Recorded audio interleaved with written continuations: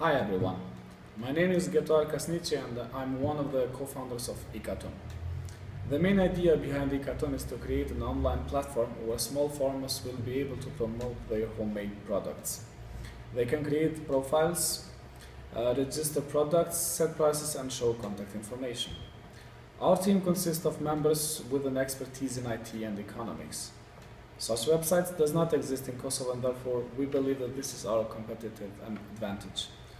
Um, our, biggest achievement so far is that eKatun has been nominated for the second round of the European Youth Awards in the category Money Matters. We were the only startup from Kosovo to make to the second round.